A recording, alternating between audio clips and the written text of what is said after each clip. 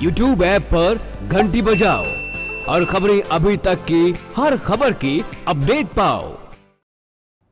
और हरियाणवी कलाकार यशपाल शर्मा एक कार्यक्रम में भाग लेने के लिए फतेहाबाद पहुँचे, जहाँ उन्होंने मीडिया से बातचीत करते हुए सरकार को हरियाणवी सिनेमा के स्तर को ऊँचा उठाने की मांग की है।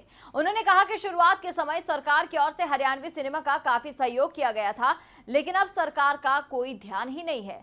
फ़िल्मों के लिए पॉलिसी तो बनाई गई, लेकिन लागू नहीं किया गया। वहीं हरियाणवी फ़िल्मों को टैक्स फ्री करने के सवाल पर उन्होंने कहा कि पंजाबी फ़िल्में फ्री में हो रही है, लेकिन हरियाणा में ऐसी कोई फ़िल्म ही नहीं जो कि टैक्स फ्री हो।